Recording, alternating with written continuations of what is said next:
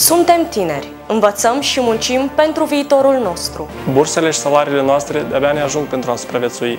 În același timp, feciorii și nepoții oligarhilor comuniști Priviți la noi cu dispreț ca la niște slugi. Dragi părinți și bunei, nu ne furați viitorul. Nu ne condamnați la o viață în sărăcie și teroare. Miercuri, 29 iulie, veniți la alegeri. Votați stejarul.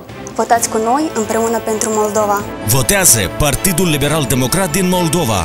Votează Stejarul.